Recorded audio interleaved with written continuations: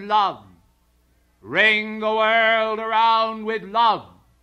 Ring the world around with love. For there is no death. Cosmic principle and cosmic purpose remain. Victoriously they establish again and again the fountain of reality and identity within the consciousness as they bestow the ever present grace of God, the omnipresence of the Holy Spirit. I come then today to saturate the world again with the flame of pure truth, with the flame of pure virtue, and the ideas of God that from the beginning have sustained the beneficent cosmic purposes which are the fruit of his mind and heart. Hear ye then, O beloved children of the flame. Hear ye then, O children of God, occupying space upon this planetary body. The Lord has descended again and again to the planet as a tiny babe, as a spirit flame, as the fashion of cosmic identity to bear before the world the grandeur of cosmic mission, to bear before the world the sense of fulfillment, of purity of purpose and living ideal. The world has again and again rejected those men of the Spirit as the carnal mind, in its own surfeiting greed, has sought to enclose within the domain of the individual all of the world's goods of gold and of precious stones and of selfish acquisition. But we who understand the fruit of the Spirit and the jewels of the Spirit and the conveyances that are made by the bequests of the Most High God, firm for you now within your consciousness the reality of the blessed gift of life for life herself is a treasure, a treasure of opportunity, a treasure of realization, a treasure of overcoming, a passion for the Holy Spirit and the flame that glows in the myriad colors of the flowers of the world, in the fireflies that glow by day and by night, the fireflies of cosmic love, bursting forth as musical notes into a sundering reality that establishes the differences between mortality and immortality, that conveys the messages of love to the hearts of both child and all people upon the planetary body. And now, today, as the flame of cosmic purpose is born in its great surging power to the world, I am come to say to the people of Czechoslovakia, where the flame of freedom is so nurtured within the heart, be firm in your convictions for freedom's sake, and give not up an inch of ground to the aggressor. For the Lord God that is given to men the air to breathe has established a flame within thy nation, and that flame shall bear thee up, if thou wouldst only adhere to it. And pray God the world might also, taking example by the small nations, understand the need of summoning, the summoning of the elect, the summoning of cosmic purpose, to wash in the great land of America the clothing of mankind that they may presume now, as they see the record shaping up with its dark clouds and twisted, misshapen clouds of things to come, realizing and understanding the need to mend their fences, as you say, and correct those outer conditions before it is too late. Oh, beloved ones, everywhere there is a need for understanding, and everywhere there is a need for happiness. For happiness is born upon the wings of understanding, and understanding stems from truth, and truth from God. But truth seems to be a willy nilly thing to some among mankind who presume to snatch it hither and yon from the various intellectual tomes of the world. We say to you that truth is life and truth is God. The Holy Spirit, then, is He who will guide you into all truth, who will illumine by the fires of Himself the darkened recesses of the mind, the rooms that no man then has seen, that are now dwelling in places of darkness, will find themselves illuminated by the Holy Spirit. And the chambers of being will resound with the echoes of cosmic laughter, the laughter of victory, the laughter of immortality, the pressures and powers of security in the hands of Almighty God. You are not your own. You are bought with a price. And the meaning of that, as not fully explained, exists within the structure of mankind. And as he comes to know himself as a divine reality, he will see that the plans now being fulfilled in the processes of initiation, in the processes of obtaining victory, are themselves mightily assisting men to rise out of carnal thought and its darkened processes into the higher reaches of the continents of the air, where the glory and light of the angelic hosts is a patina of pure gold upon the revealing clouds of heaven, the clouds of witnesses, the holy representatives of the Spirit divine, the Spirit of divine usefulness, the Spirit of divine strength, the Spirit of divine energy, the Spirit of divine mercy and compassion, the Spirit of truth and reality. Truth and reality are one. But so often, the obscuring conditions existing in the mind and feelings of men create those awful separation feelings which do not assuage mortal grief or wipe away the tears from the eyes of men, but create in their place a flood tide of mortal tears and sorrows. We who come to you then as spiritual overseers, as spiritual fathers, as brethren of light, we come in the name of God to establish here among men, here where the living dust creates and is destroyed. A passion for the things of the Spirit and the kingdom that can never be destroyed that can never end, but will always serve to convey transcendentally to mankind, step by step as he climbs to higher octaves of God realization, the firmness of the joy of that love that ought to ring the personal world around and around and around. Surround yourselves then with swaddling garments of light Surround yourselves then with feelings of reality that come from your presence. And fear not to touch the feet of those whom you may not outwardly deem worthy. Fear not to wash their feet Too, if necessary, wipe them with your hair.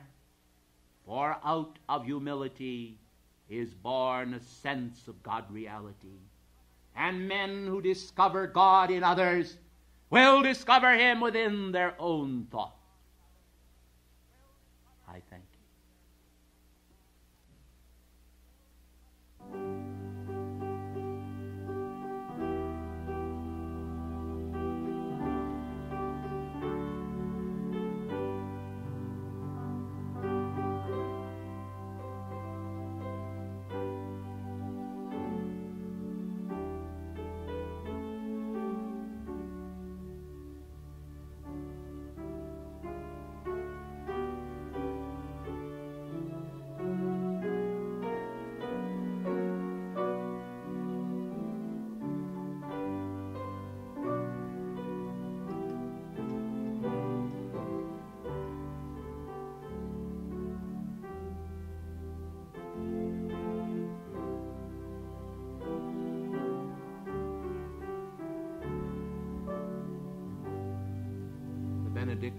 given by Saint Germain.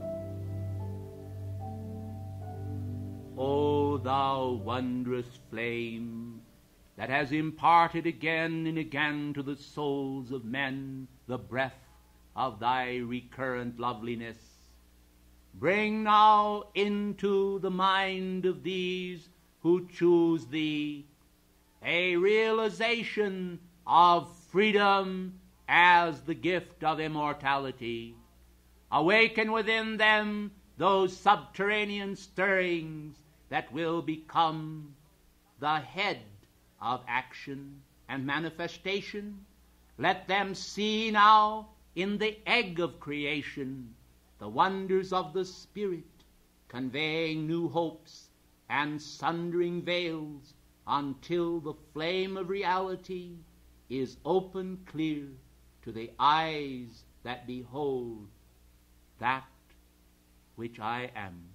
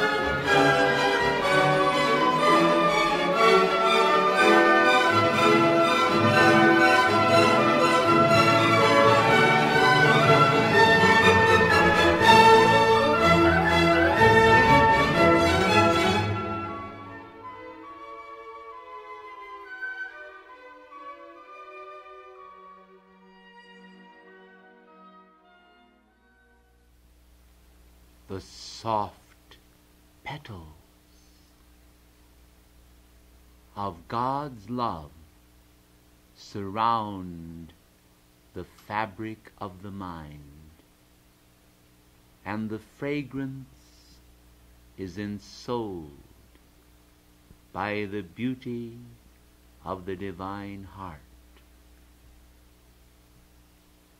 We bring you greetings from Shambhala and the spirit of the Prince of Peace. Ours is awareness of his mission, of the eternal vigil for the earth,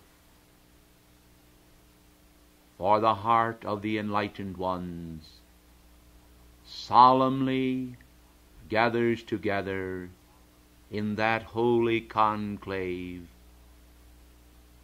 that bestowing budding divinity upon a child gives to him the mantle flame of a future regeneration.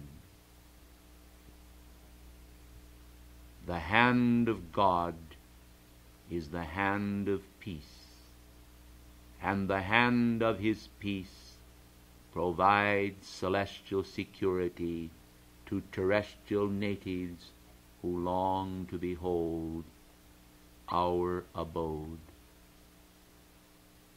Shambhala and the marble bridge. Shambhala, mystic city of fair radiance. Shambhala, queen of the cities of the earth. In our hearts dwells that cool flame of peace, that cool white flame of peace, that soft flower radiance that bestows the caress of God upon the beloved. And who is not the beloved? Each pebble, each grain of sand, or celestial orb, he loveth all. He giveth to all the fruit of striving, the wisdom flame, and the tenderness of his care.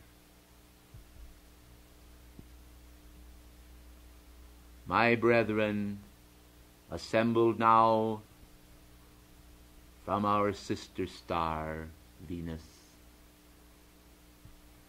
hail to thee, Sanat Kumara, Rex, Lord of the world,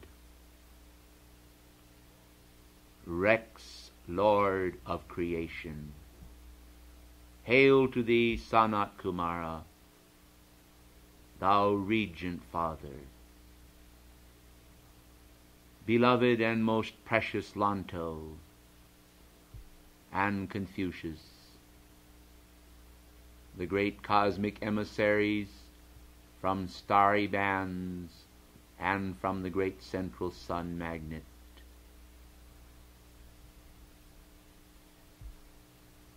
We raise up and exalt once again the memory of the Prince of Peace and the blessed babe of the new year, the little pure one who comes to man without spot and blemish, the fair and blessed textured parchment upon which is to be written the fate of mankind. We are aware of the world of form and the world of the formless. We are aware of the dark shadows and the dispelling magnificence of the sun. we are aware of the charity that begins at home, here upon this so-called dark star. The charity that requires the banding together of hearts, that the shoring up of the world may be done, that the flood tides of destructivity be assuaged, that the mercies of God be amplified. Our prayer in the name of the great white brotherhood is for peace. Our prayer in the name of the great white brotherhood is for enlightenment. Our prayer in the name of the great white brotherhood is for abundance. Our prayer in the name of the great white brotherhood is for the fruit of understanding to be scattered to the family of nations. And as we assemble here, O brethren of light, it is mindful also of the blessedness of Wesak. It is mindful also of the gathering of souls into that beautiful valley and of the harvest of Christ's accomplishment. The centuries to us seem as but beads of a rosary, and our fingers caress the accomplishments made in the name of humanity. But the end is not now, nor will it be, for the permanence of striving is assured, for the cosmic lords know full well, they know full well that among mankind there are hearts that were like our own. Hearts determined to complete the mission they came to do. Hearts that will not say, give up. Hearts that will pray, Lord, give us the cup, and let us drink and walk in thy footsteps. Because it is so, my brethren, because the Prince of Peace has drawn very nigh unto you throughout this conference, and because the hosts of heaven support your earliest endeavors to produce world action on behalf of the youth and the staying of the hand of doom, we are determined to present our own petition to the karmic board this night, sealed in living letters of light. And this petition is for an activity of what is known as half a time. And this half a time means that we have asked point of equipoise to be created, where on January 18th the Lords of Karma would agree and consent to take this half a time and permit it to be a function most discretionary, whereby it could go either way, either the path of the dark cycle or the beginning of a point of light that mankind have never known before. I feel that this petition will be granted, and if it is done, it will not mean that the cycle was averted, but that it has what you would call a 50-50 chance of being averted. This does not mean that the students should become overly confident. It means that mankind have one more year in which, if they are careful, they may stay the hand of karmic law and have this year what would amount to a final opportunity to mend their fences, to prepare their defenses, to make a turn from materialism to the pathway of peace. It could go either way, blessed ones. It simply means that now, in a half a time, it has an opportunity and that means an extension unto July and the Royal Teton Conference then. But the half a time could be misused, and so it could come to pass that before July should come, the fires of mankind's aversion to peace would break out in horrible destructivity. Or the elements themselves could erupt in such a display of cosmic anguish as to make the heart almost to stop. Because this is so, and because there is that danger as well as that opportunity for deliverance, we want the students to take the fullest advantage of that offer which we have petitioned so solemnly, and which we have had some prior assurance can well be granted this night. And now, as your petitions have been received, together with our own, drawn forth by the hand of the angels, and gathered together from our various outposts upon the planetary body, we shall patiently wait the moment when the lords of karma shall say, Our deliberations are finished. The hour is near when we shall receive the descending images of this blessed, blessed year.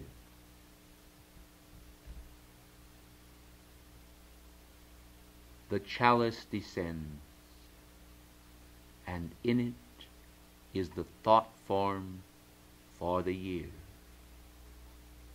It is the Ark of the Covenant. It is simple. It was formed long ago. And now we see it in its preserved and beauteous state, inlaid with gold, and having upon its top the covering cherubim. We see the light of the Ark of the Covenant in all of its blazing brilliance, the Shekinah glory. And this ancient symbol of Israel and of the promise speaks to men of their rights to make a covenant with God and to know that this divine one will also place the tablets of the law within the ark of their heart.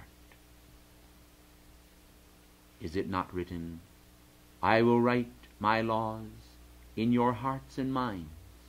In your hearts and minds will I write them, saith the Lord. Let no one be disappointed at this thought form, for the lords that have delivered it unto us have great faith that although it is a symbol old, it is a symbol of particular meaning for this year of peril. For do not men now, more than ever, need to make a covenant with God? And if that covenant be with your own beloved I am presence, is it not then sealed in the wholeness of truth and the faith that you bear in your heart? Does it not relate to the identity of each one of you? Does it not bring you joy to know that in your heart this thought form can itself lodge and bring you peace? You can feel in the hidden recesses of your heart within the presence of this ark, an ark of safety, an ark of light, a place to receive the commandments of God, that they themselves, being written there, may speak out from your heart with the authority of the law from Zion. For did I not correctly apprehend him when he said, Zion is my holy mount, and I will dwell therein forever? Shall not the joy of Zion then run throughout the earth, and the great four rivers themselves, in their confluence, comment upon the restoration of the consciousness of Eden? Can Eden then be restored to man, a paradise lost, as John Milton wrote? Can it not now be a paradise regained? Did we ourselves not experience it before we made our ascension, when the attunement of the angelic hosts came to us, and we were able to grasp those wondrous principles of universal love that are often expressed to us here in Shambhala by the beloved God Himalaya?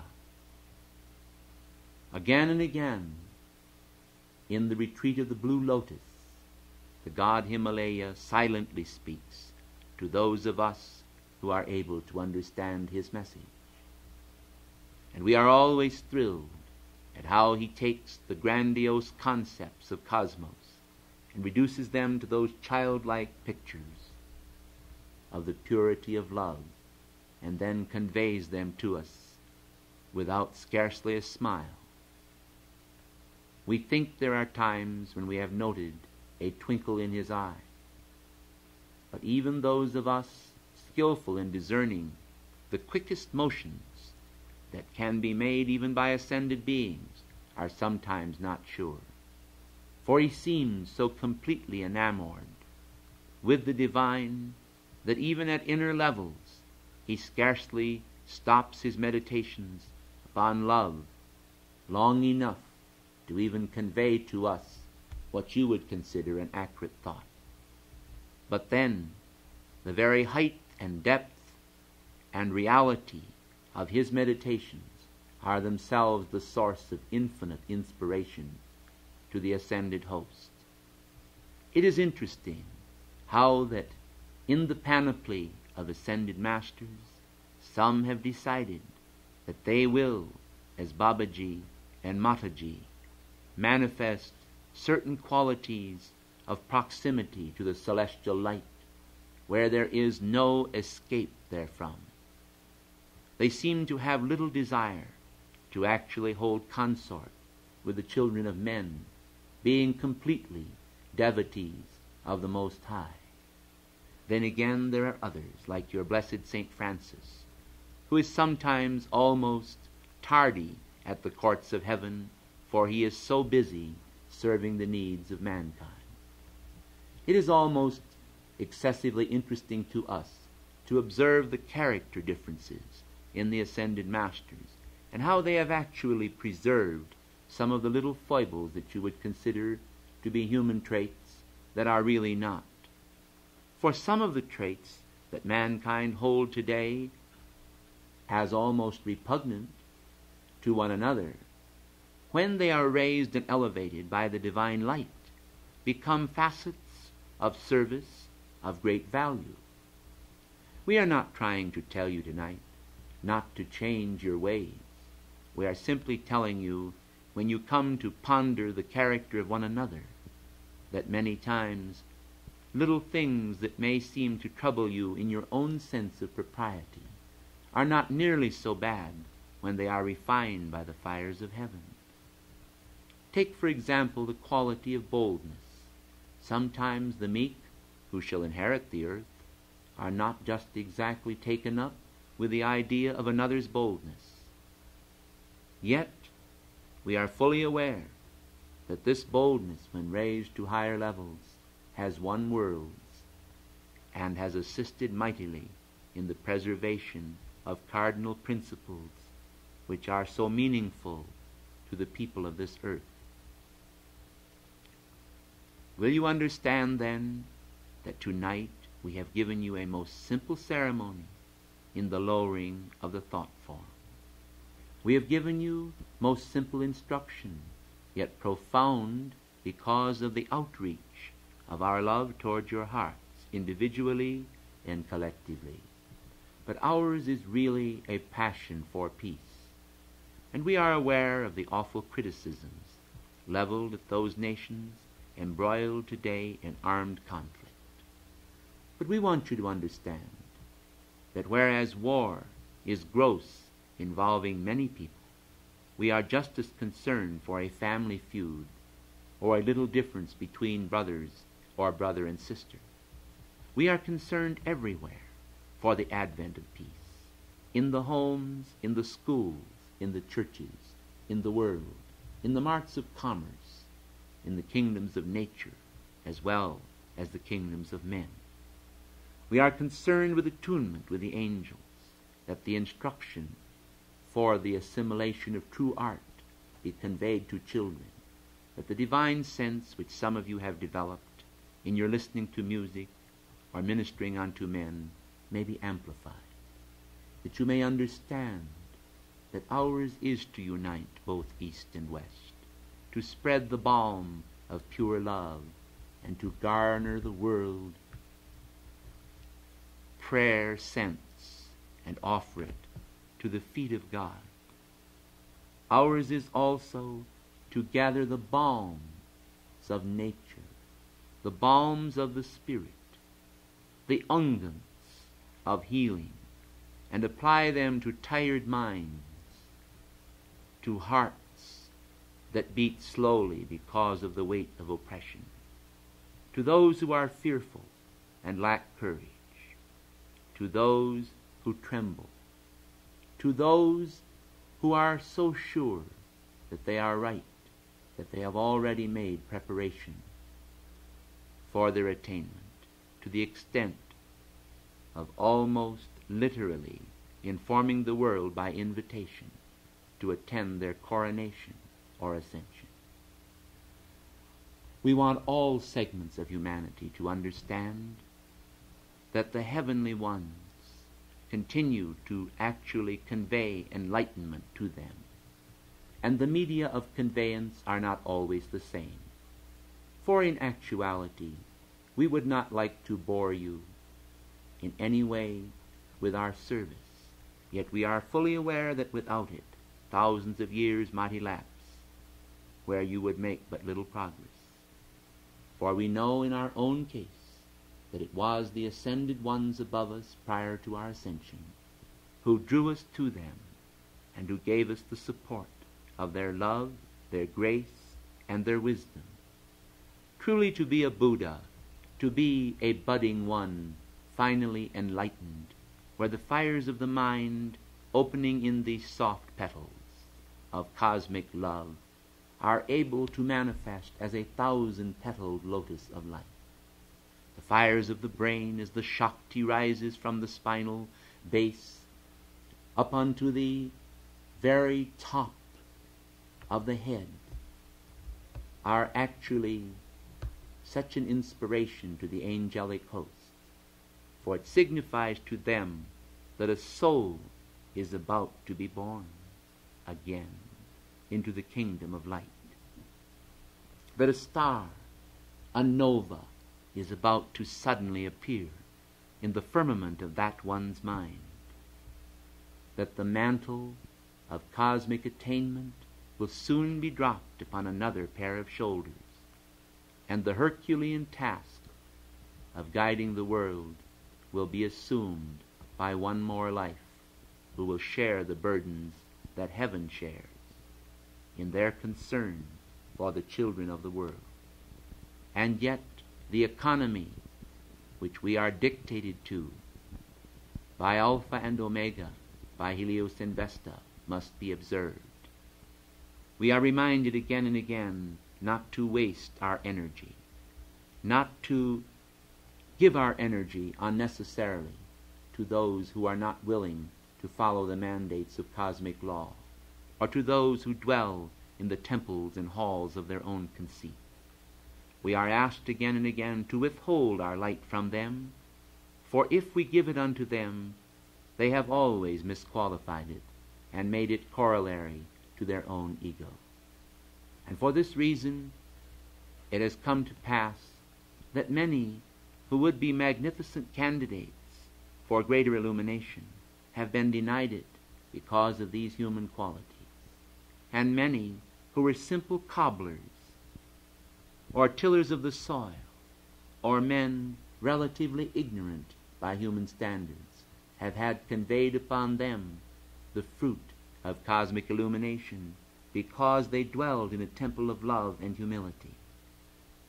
Let all then learn from the examples of these and understand that the Lord draweth nigh to those who are humble.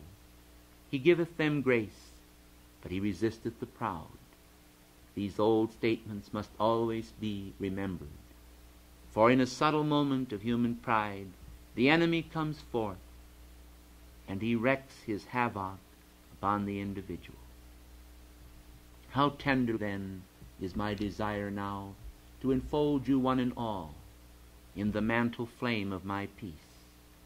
And so I have asked ten thousand of the angels of all the Buddhas that have ever lived upon this planet to converge upon this city, Colorado Springs.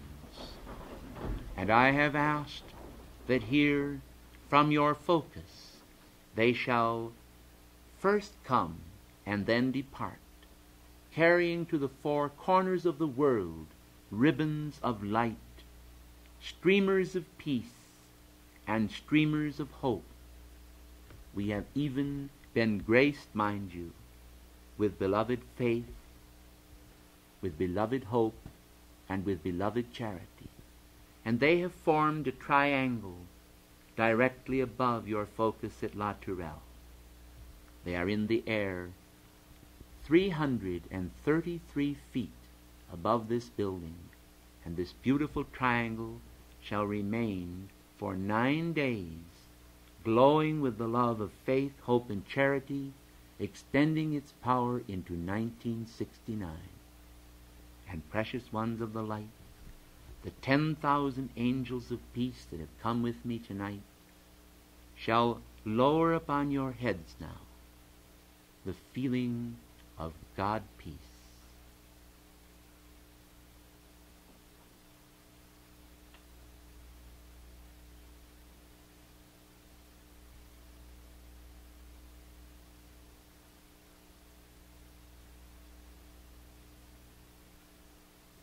Is that not sweet?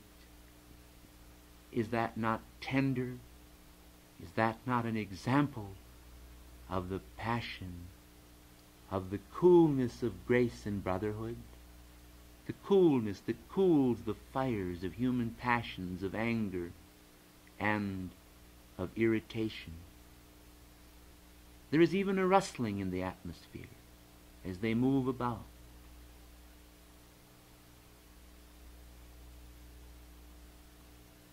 They are lovers of your cosmic identity.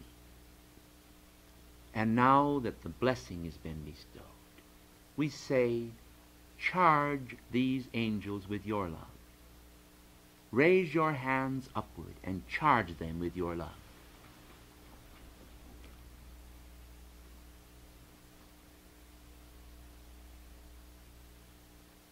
Now, as they receive your love, we say, Angels of peace from Gautama's heart, depart. Go to the four corners of the world and carry our love, and with it the love of these blessed ones, that the world may share all over the world the mantle of Christ's peace. You may lower your arms now, for they have gone several seconds, winging on their way and carrying the advent of their blessing to mankind. When I have finished speaking, I wish you to sing Joy to the World, and I promise you that the joy that you feel then will permeate the earth.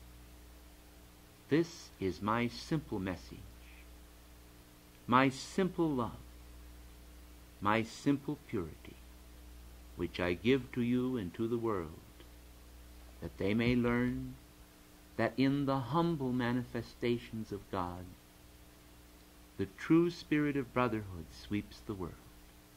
And thus, as you look forward expectantly into 1969, it shall be toward a year of Christ victory, toward a year of the Queen of Light's manifestation of the Mother of the world, and to the amplification and extension of cosmic wisdom and the wisdom of peace to humanity.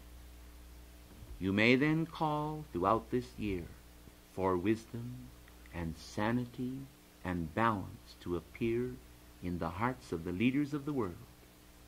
And this is what is needed. For many of the people themselves long for peace, but their leaders push them toward the brink of destructivity. In the name of faith, in the name of hope, and in the name of charity, I salute you with the kiss of Christ's peace. Salute him. God is beautiful.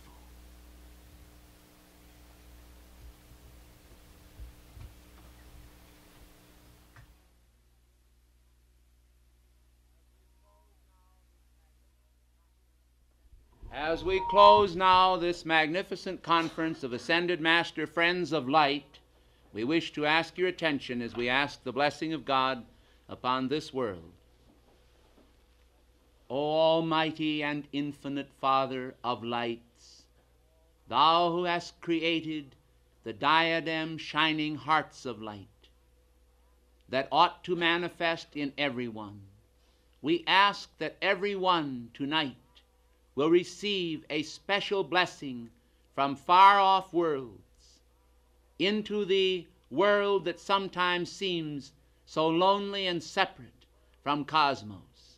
Let everyone that feels the prison house of the flesh or the enclosure of mortality around them feel the vibratory action of the universal Christ exercising his passion for healing love upon this earth. And come thou, Lord, to earth again this year 1969 to teach the children of men how to involve themselves in a service to all, to one another, that the world may grow in grace and the fruit of their endeavors may be magnified as they take dominion over the world in thy name and spread the sweet fruit of brotherhood from pole to pole and carry even into space to orbs that move through space, the love of this world that is thy own. We thank thee for the Christ, for the Buddha, for every mother's love, for every parent's love, for every father's love, for brother and sister's love, for husband and wife's love, and for children and parents' love, for the love of rulers and kings and adepts of the Spirit, for the angelic host and the elemental beings that serve this earth so well, for the beings of fire, earth, water, and air, and to thy supreme and sweet heart of light, we ask that we may be blessed now and may carry that blessing everywhere, that the whole earth be literally drenched with the golden sunlight of thy love and the mantle flame of far off stars, that all the world now will know the wonder of thy love. So should it be both now and for all eternity, that this moment in time may be sealed in the archives of eternity, that all who have attended this class may find their names written in those archives, because the service they begin from this day forward will never cease, and the light they hold will never go out. We thank thee. Amen. Charity and faith and hope abide with us always, and the power to invoke the memory of the words he spoke.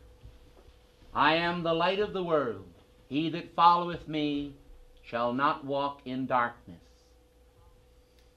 In the name of life and light and love from the great central sun, the chorus of the angels helps to make us all one because they sing a song of unity, and the Ark of the Covenant is within our heart. And we are now those children of all that is real, passing across the barren deserts of self and heading for the promised land.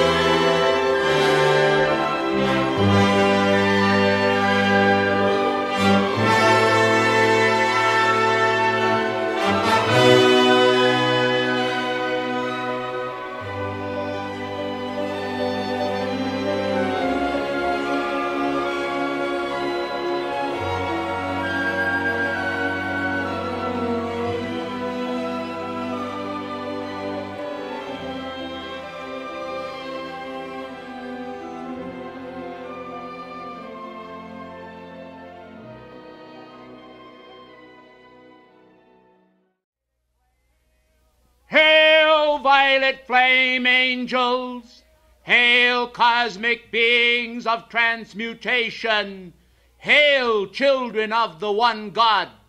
The hour has come and now is when the valiant flame of transmutation must be perceived as the panacea for every doubt and fear. Individuals should understand that the power of the archangels is here when you invoke it, when you believe in it, when you trust in God and understand that it is His electronic flame essence which is descending in response to your call. Beloved ones, you are the children of the Son. You are the children of the One. You are supremely blessed to have the understanding in the correct use of the violet transmuting flame if the world today were able to accept the violet transmuting flame, most of the problems today that are troubling mankind would literally melt away. For individuals again and again are infecting one another with their own discord and inharmony.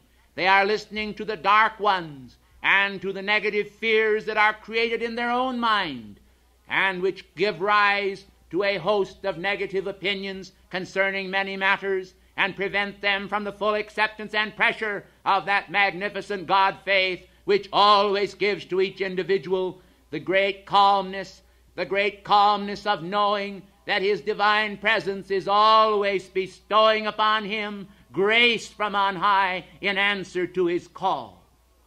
Won't you understand that the cosmic law is the fullness of divine love to every one? Won't you understand the justice of that law? The justice that bestows upon both just and unjust the self same bands, I said bands of opportunity that link mankind to his own cosmic reality. What difference does it make what mortal opinions may say? Don't you know, blessed ones, already, from the tests that you have experimented with concerning this law, and I speak to those who do, don't you know that these conditions have given you a relative sense of freedom?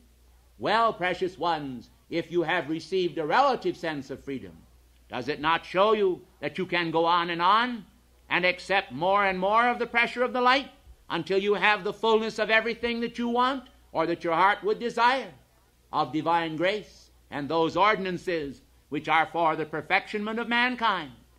It does not matter because individuals from time to time seem to fall short of the mark if they will only understand and accept it and not allow their feelings to be disturbed by it that we are able to assist you here below in gradually melting away those human problems which so dreadfully torment you at times.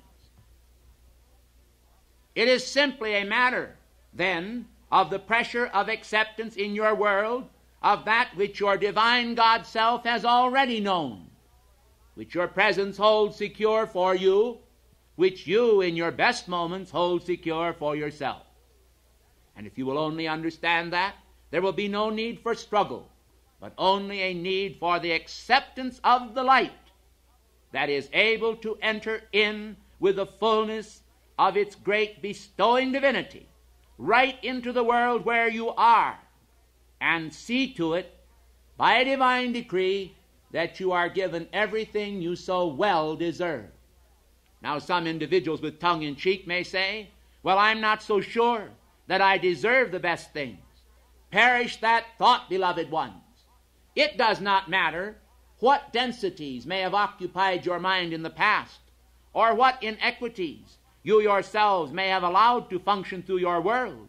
The moment that you begin to accept the love of God, there is given to you an opportunity to walk in that love if you will not admit the outer pressures of human thought and feeling to have entrance to your world. You can always pay off those debts by cosmic grace and do it from a moment of triumph rather than try to do it from a moment of struggle. If you will understand this, if you will permit your feelings to become calm, and in that calm knowing establish your contact with those of us who are of the archangelic host, you will find that our light is like a mighty sea of cosmic energy flowing through the force field of your human identity. And sometimes you may surprise us, and then again, we may surprise you, and sometimes you may surprise yourself at how quickly you can dissipate momentous clouds or seemingly momentous clouds of dark substance that seems to terrify you with the very thought that you might not succeed in effecting the cure or whatever it is that you want over conditions that are not just as you want them. If you will only understand that this is a natural, beautiful, outpicturing of cosmic law, that it is a transcendent manifestation of universal grace, it will help you ever so much to calm your feeling world.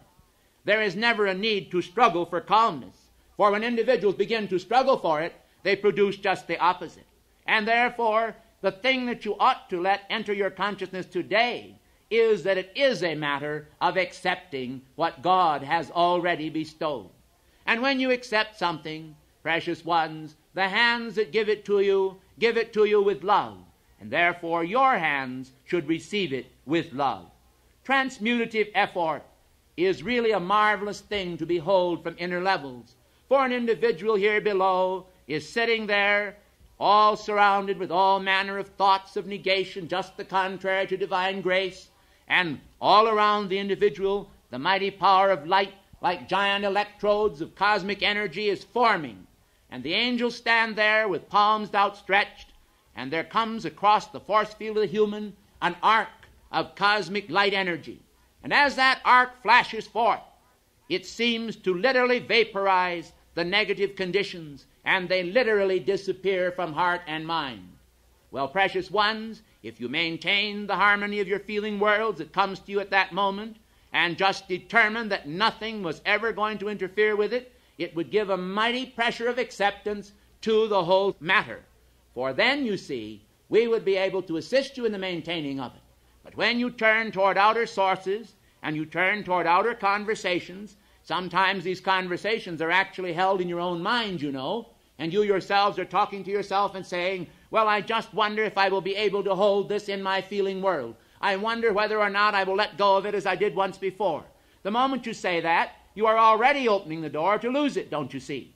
And the whole matter is one of individuals recognizing and understanding that the compassion of God must be established. It is a natural estate, you know. And when you understand that, and the pressure of that natural estate descends, well, then it's altogether different, you see. Please understand that I am not speaking to chasten you. I am speaking because I love you. And every ascended master speaks because he loves you, even when it may seem to you that it has some idea of chastening in it.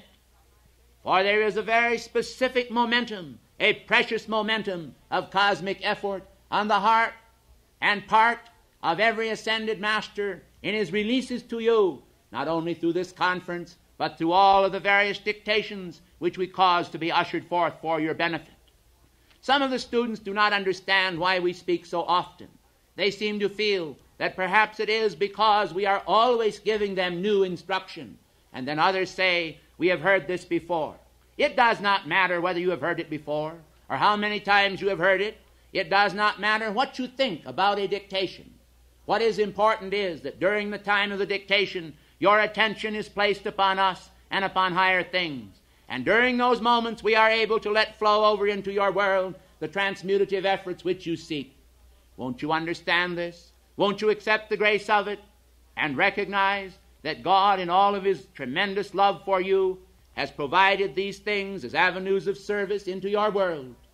It is true that in the outer world, where ordinary religious activities are being pursued, there is an entirely different activity than what you find here.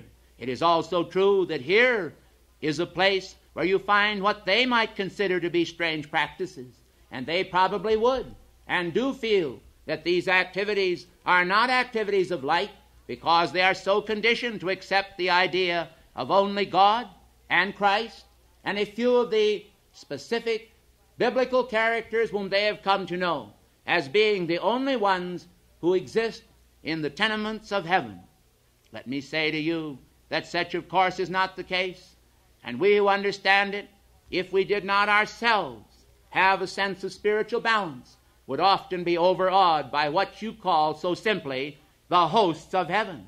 Why, the hosts of heaven, blessed ones, are in such astronomical proportions. There are so many of them that if we, for example, were ourselves to think of the numberless ones, and I prefer to use that term, I assure you that we ourselves would sit back in awe because of the tremendous number of cosmic light beings and angelic hosts and elementals that exist in the cosmos. But it is not necessary for individuals to think of all the people in the world in order to be happy with their family. And therefore, there are circles within circles. And this activity is a circle of great light. Sometimes it may seem small, and other times it may seem large. But whether large or small, the important factor is that the work is being done, that humanity is being served here, that St. Germain and the various ascended masters are finding a forum where they can express the great God power and the magnificent truths of all the ages with great freedom. Do you realize what it means to have the freedom for progressive revelation? Do you realize what it means not to have the limitations of dogma set upon the mouths of the heavenly hosts? We are able to teach as we wish, and we can draw to ourselves those students who are ready for those specific momentums of service which we have to give. And that way, the various ones here upon this planetary body who are seeking so much for their ascension and for their freedom will find it that much easier. I'm sure that you do understand what I am saying, and I feel now some comfort in the knowledge that my words are not going out into a void to return empty handed unto God. They're going out in order to perform those great transmutative efforts which the cosmic hierarchy so long to see in effect. They're going out into the world of form to cleanse the world of its impurities, to create a great stream of transmutations, light rays throughout the planetary body, dissolving those dark cesspools of malignance and destruction which are mankind's present intent to frame, and preparing a way, a highway of light, where the tremendous powers of the cosmic hierarchies and ascended hosts can raise the consciousness of the mankind of this earth into those dimensions which they once knew with such tremendous love and gratitude. Once again, then, let us restore the boundaries of the old temple. Let us make known the passions of the divine for the human, and let all understand that the human must become the divine.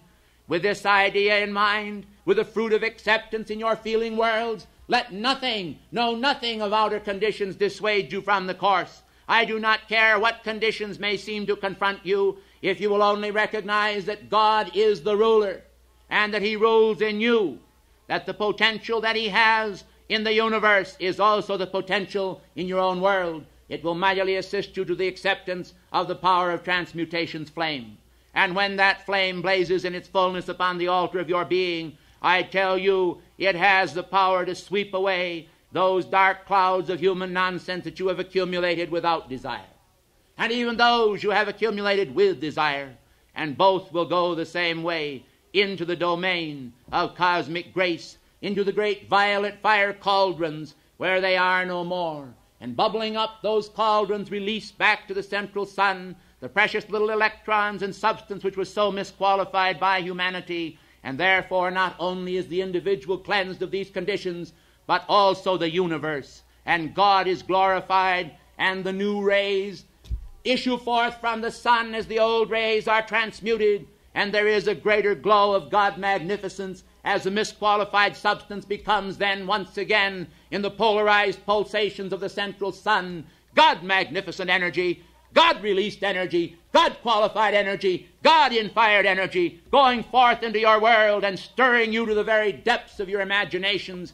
as you realize that what you have called consciousness is only a little river of light which you have used, and suddenly there is born in your mind the realization that that river of light can be expanded to become the ocean, and then that ocean to become the cosmos. And you see that nothing shall be impossible unto you any more, as the words were spoken of old concerning the tree of life, saying, Let us put man forth from the garden now, lest he eat of the tree of life and live forever. For if we leave him here in his present state, he will eat of that tree and live forever, and then nothing will be impossible unto him.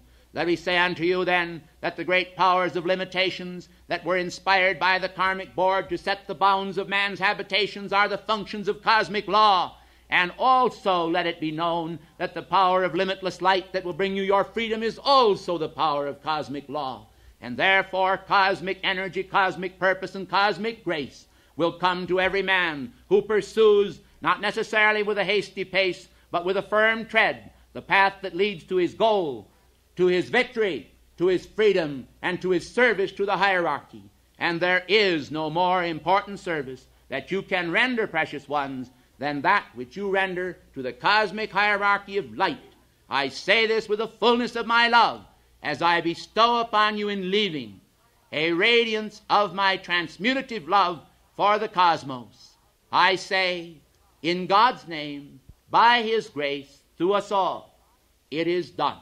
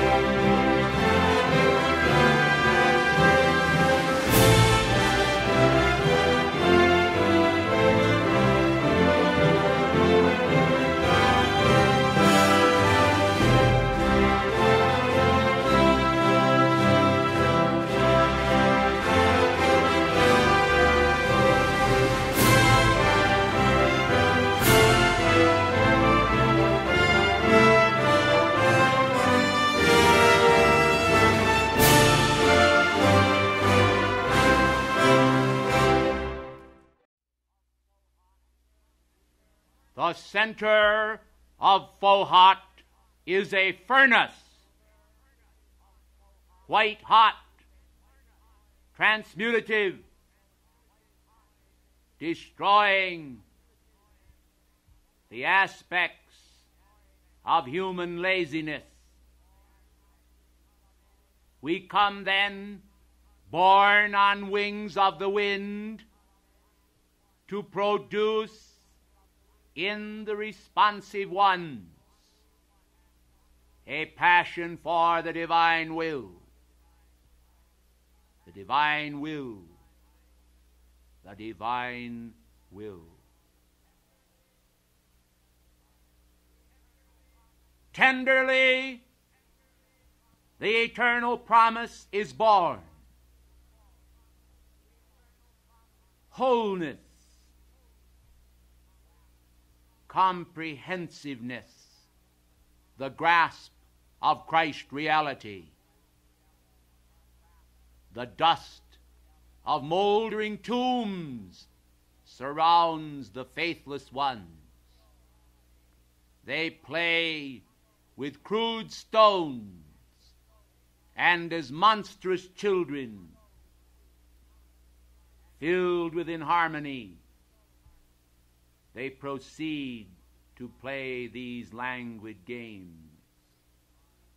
But we are concerned with the marvels of the spiritual world. We are concerned with the passions for faith, with the understanding of existence, of bliss, of harmony, of the labors of love, of the realities of God, of the fashion of those things to come. The former things that have passed away, by reason of their faithless manifestations, have had withdrawn from them the energy supports of higher octaves of light, and they have crumbled. We are concerned not with crumbling manifestations or architecture. We are concerned with the fires of the Spirit and with the circuits from far off worlds. We are concerned with the magnificent love ray that penetrates the dark of the night and cuts it.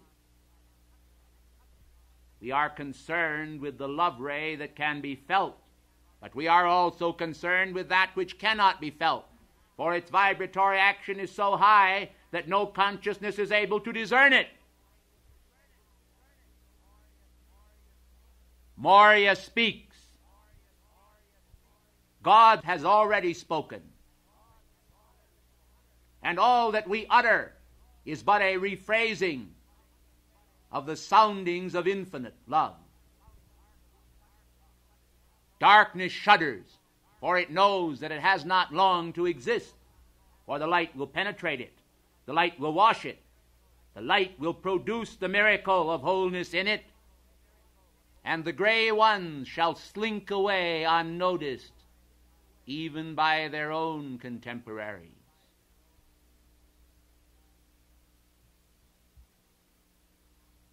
Strange banalities cause men to linger by the pond.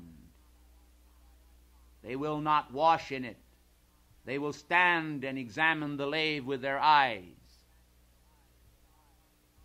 They will say, Our garments are not yet dusty enough. They will contemplate the hopeless ones and ignore the manifestations of the victorious ones. They will hear the thunder from afar and say, Who is bowling?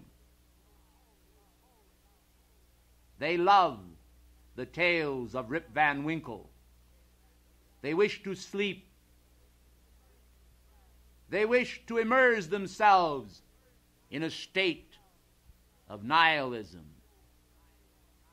oblivion, fear of involvement.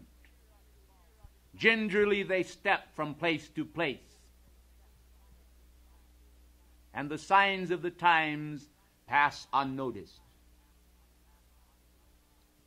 These are without much soul substance, and their desires are earth earthy. We are concerned with men and women of valor who will comprehend the meaning of this hour. It is the twelfth hour. Now the night is far spent. The circuit of the day is at hand, for the dawn begins from midnight.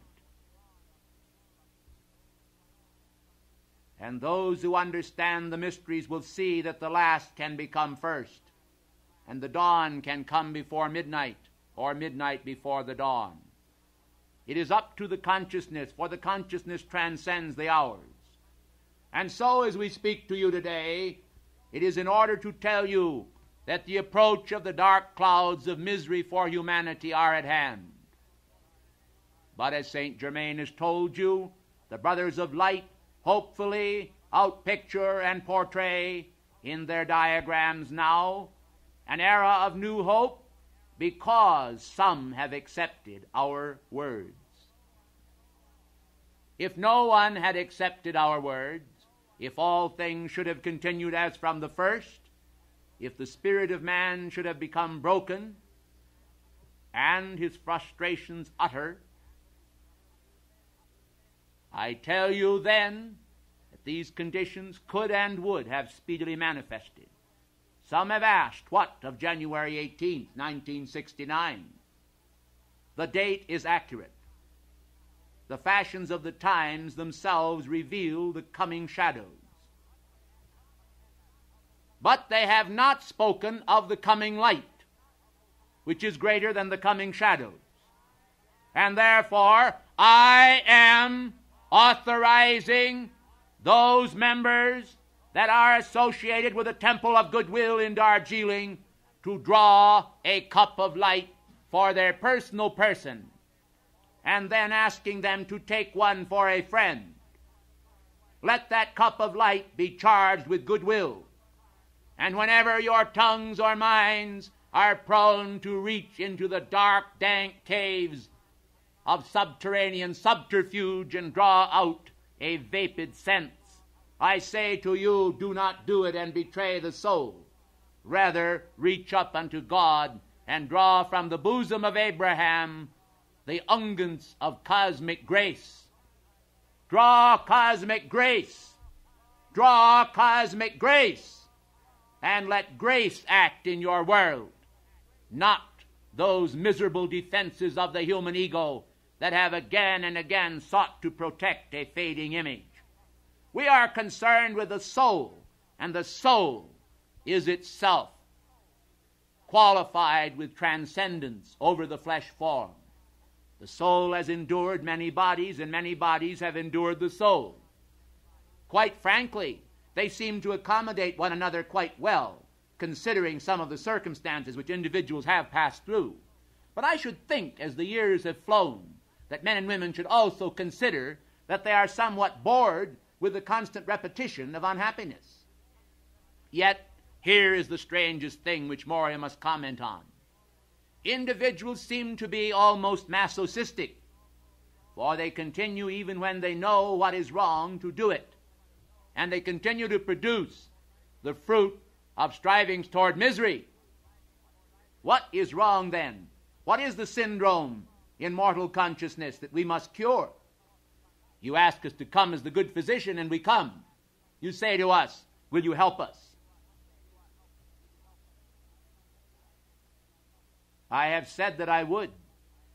And when I come to do so, I sometimes find the door is closed and locked. For the invocation was more spoken by the lips than the heart. And individuals invoke that which they do not understand. And they call forth their victory and the light when they cannot stand the light upon their person. The light that descends is going to show up the defects in your world. It could not be otherwise. When you call for light, you can expect a revelation and the revelation may be a bit of horror. Where individuals throw up their hands in horror and they say, Oh, this is awful. And they seem to think that the ascended masters have revealed these conditions of their own world. Or created them, which is more to the point.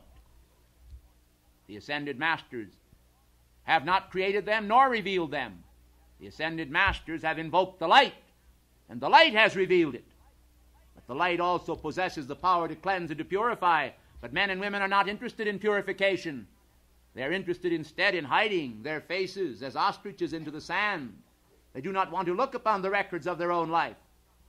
Let these poor souls now understand that by looking upon them momentarily, they can then swiftly turn away from them to the light and say, Oh God, save me. I am salvation. They can say this of themselves, for the power to save is actually inherent within man. The power to save lives. The power to save beats the heart. The power to complete the work of the building of the temple is in the architecture itself. And man is also an archetype as well as a manifestation. And some do not understand this how man can be both. But is he not dual? Is he not both body and soul? And yet the body is only the part that is of least value. It is merely a means to function in the physical octaves of life so that the soul can be nourished. But what do men do? They fatten the body and starve the soul. And this is a most practical statement that I have made, and one that ought to be pondered and considered.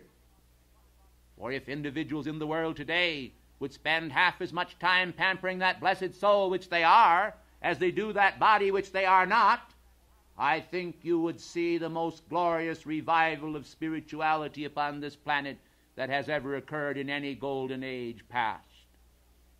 And now is the time. The students of the light will understand what I have said, and they will understand why I have said it, which is more to the point. For I have spoken in order to firm the shores of your soul. I have spoken in order to encourage you to wholeness of being, to purification of mind. Learn not to impute wrong motives to others, and you shall learn how not to have them yourself. I do not say that they do not have them, but certainly, blessed ones, by continually picking up the fabric of evil and examining it, to see what it is made of will not in any way provide for you the washing and cleansing for which you call.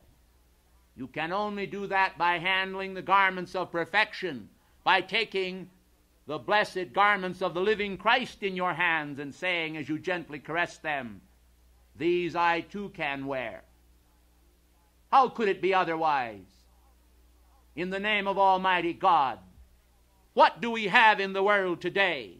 A group of children playing games with the universe, playing games with atomic energy, playing games with electronic energy, playing games with cosmic law. You have a saying upon earth that some play the game called Russian roulette. Well, I tell you, mankind today are engaged in a still more dangerous game, and they are not escaping with impunity.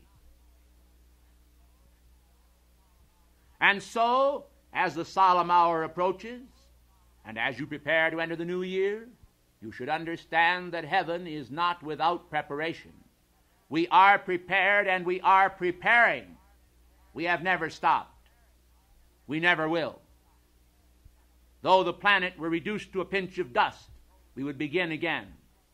We cannot, because God cannot, refuse to love the creation, even when understanding fails to exist in consciousness and misunderstanding is rampant as a raging lion, we must ourselves portray the grace of God that has always sustained right actions upon the planetary body, and we must express ourselves today and say to you that there are millions who cry out for light. And I would like to go a little further than that and say that there are billions who cry out for light. For from what position in consciousness do they cry? Some cry outwardly, and theirs is like the mewing of a kitten. Others cry from the depth, and others cry in the realms of the subconscious, but almost all are crying out for the creative word to be manifest in the soul. The problem is that when the answer comes, they are conditioned by habit responses and they are also subject to the contagions of the world's thought and therefore they go astray and linger over their cups of delusion without understanding the meaning of grace. Grace will help to fulfill the law. Grace will wash the soul and cleanse it. Grace will put fiber in your bones. Grace will make you to stand up for God and be counted. Thank you. Won't you please be seated? I am not concerned with just a physical rising. I am concerned with the rising of the soul. For the soul, as it becomes flooded with light and imbued with the will of God, will understand the slashing of the Word. We must cut you free from human vicissitude. So many times, so very, very many times, your hearts are stirred. And in that great stirring and passion of emotional substance, you say we would do anything. When the moment comes to hold up the shield, then you say, Where is the nearest game? Let us play cards. We say to you that the business in which you are engaged is not a play game. It is a serious business and one that requires the full concentration of mind and heart and being. We do not say that the souls of the faithful need always become flexed as a steel rod or a sword. They can be encased in scabbard. They can be retained and rest. And it is permissible to have suitable exercise for the body as well as the mind. But men must understand that their judgments have been impaired and that the life records of humanity do not show that they have exercised balance. They have said, everything for myself and nothing for God. But they have not known it, which is more to the point, which is worse. They have actually said to themselves, because we do this little thing for God, He will surely overlook our faults. Well, precious ones, do you understand what I mean when I say that you will judge yourself If God were judging you, I think that His mercy, which endureth forever, would perhaps forever overlook your foibles and ridiculous attitudes, and therefore you might go on forever without ever apprehending Him. But God has put Himself within you, and that self within you that identifies with you, that you identify with, will judge you. And this is harder than the Father Himself in the creative essence for it is aware of the self deceits and subtleties you have practiced. And it is not inclined toward the mercy that the Eternal Father Himself would express, because it is identified with the self and has some instinct for self preservation, and because it recognizes that the realities of life are what you seek, it chastens you with a higher aspect of the law. This is a part of the divine plan. So then, self judgers, I say to you, accept now the judgments of heaven, accept now the guidance of the ascended masters who also have accepted the judgments of self, for we are products of it. It was the programming of divine grace within ourselves that made us feel the inflexibility of the law. And men say, Must I do this and must I do that? Well, of course you must not if you do not want to. But what is the end result? It is pain and suffering and the accumulation of error and darkness. And this you do not want. So what else can we do? How can the good physician heal except he say, Son, thy sins be forgiven thee? If the sins are forgiven, must they be repeated? And if they are repeated, will it not be with the self same results? For law is God, and God is law. Men must understand the difference of the aspects. They must understand that there are times when we come with inspiration, there are times when we come with prayer. We come with wings, we come with song, but there are other times we come with a good paddle in hand. And I say that it is. And if I were you, I would kiss it first before you kiss the Blarney Stone.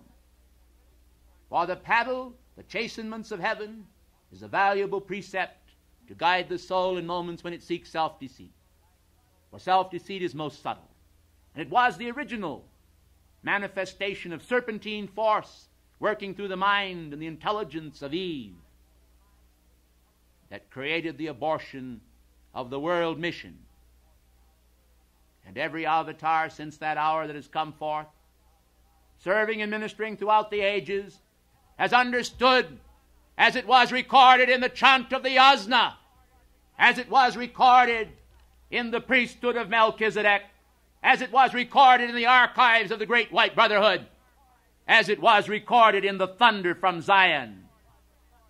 I am come then this day to drench you with the will of God, to let it course through your veins in magnificent magnitude.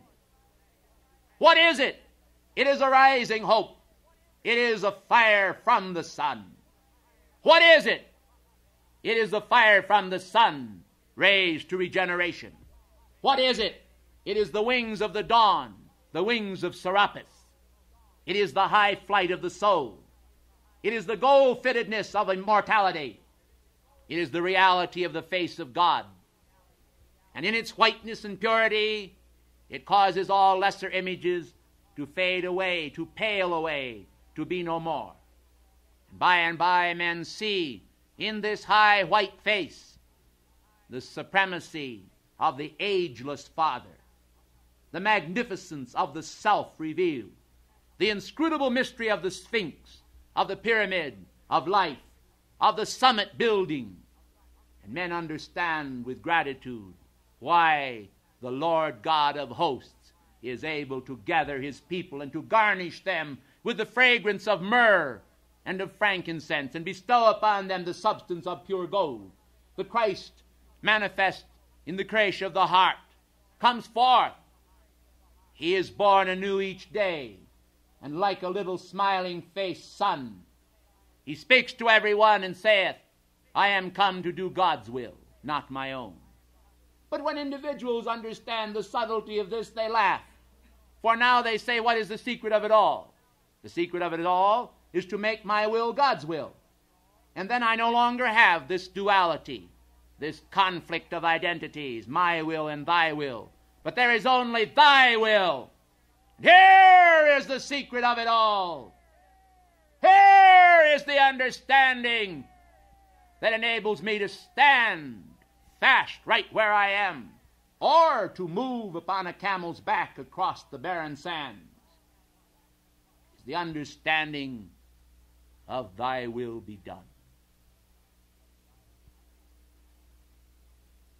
I wish at this moment to express the gratitude of my heart to those souls who responded to my appeal in connection with my desire to endow Sanctus Germanus with a mother house for the keepers of the flame fraternity. I did not wish to apply too much salve to you before I came to tell you of my gratitude, because sometimes individuals are prone to think, and I say this to you with humility and not to hurt you, that they can buy their way toward heaven. And therefore, they offer their hearts and their possessions to God. We are not accepting your offerings in that light, but we are accepting them as the right hand of service. You have become soldiers of the light and in this vein we accept it. We recognize the correct attitudes of many of the Chelas, but we also wish to make clear into the realm of objectivity so that all may know the correct attitude in giving that this is a glorious opportunity which you have availed yourselves of. And one day you will stand and behold what has been produced by the miracle of your devotion, and that will be a shining reward, an ageless memory, because the souls of men must be kept and taught to keep the flame.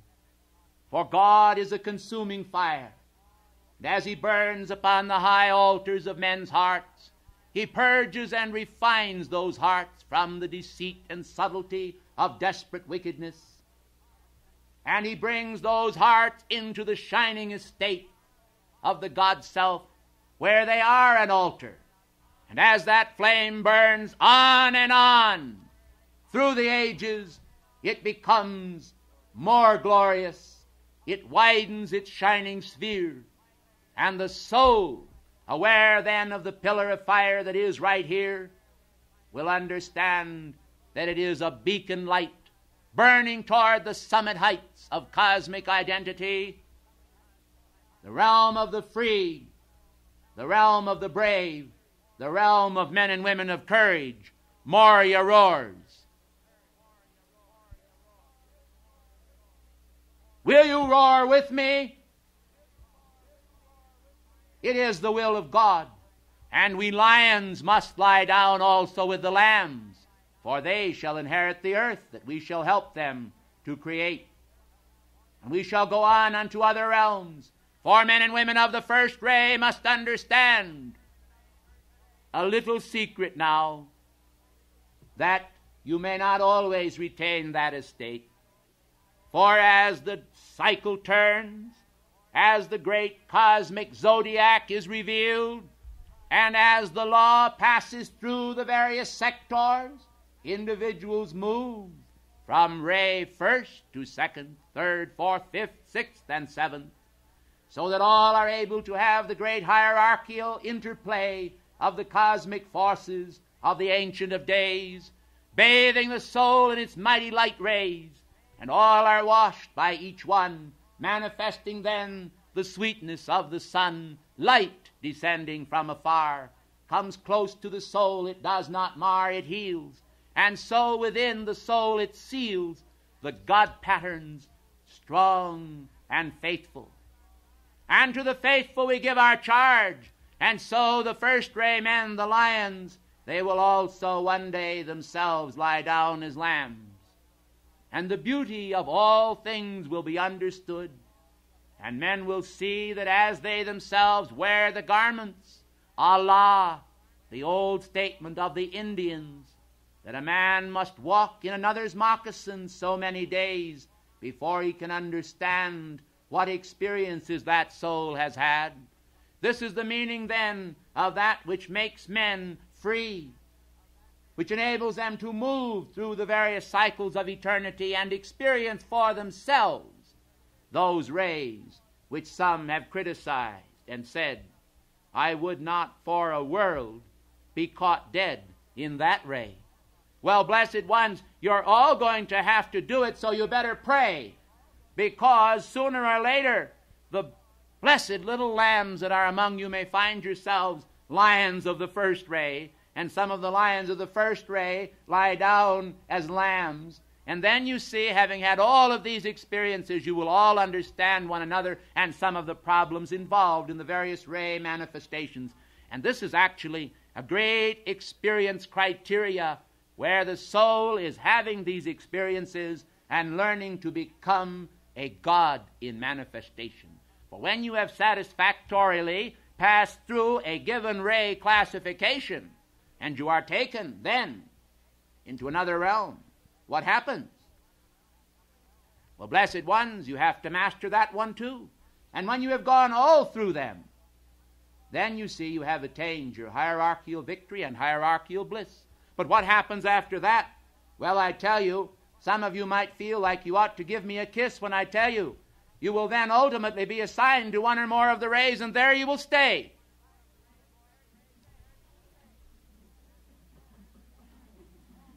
And after having had all of these experiences in all of the rays, you will know exactly what you are getting into. And that is what has happened with me. And I am classified as Father Morya, the stern, severe one. I am classified as a roaring lion when that particular title was given to Satan himself. And of course, you know that I am not in league with him because I am in league with the will of God and it comes as a whirlwind within my being, and I desire to communicate it to you, and I desire to inspire you with the passions of the freedom flame through the will of God. For your beloved Saint Germain has again and again said that without the men and women of the first ray, there would be no need to have the men and women of the seventh.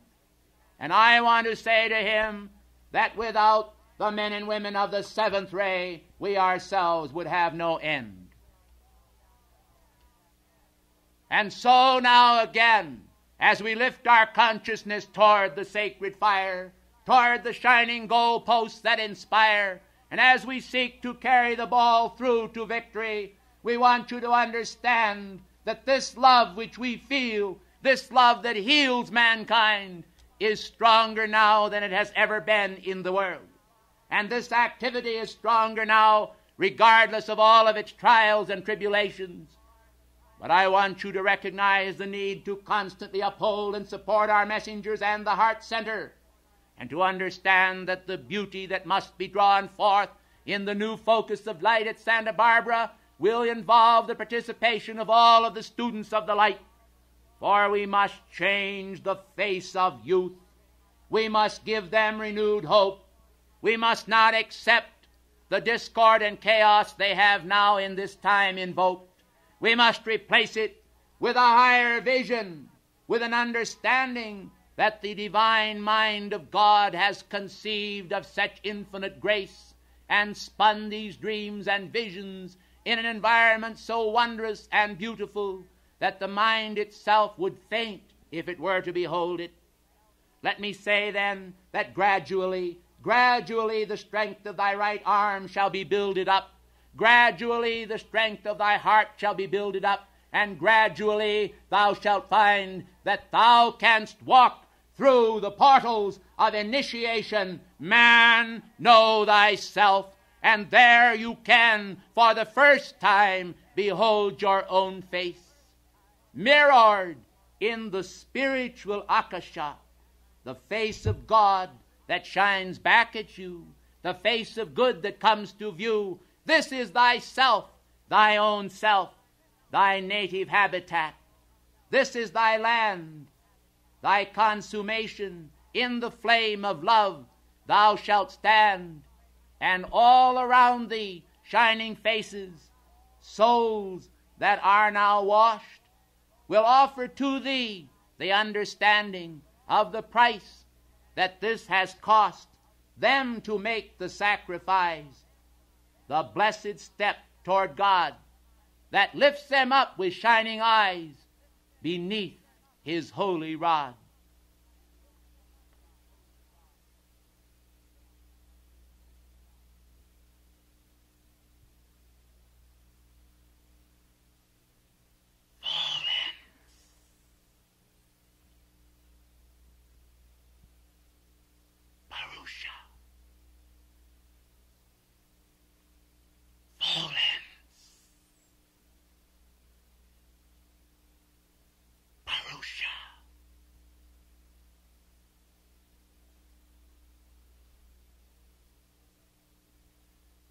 Olens Parusha.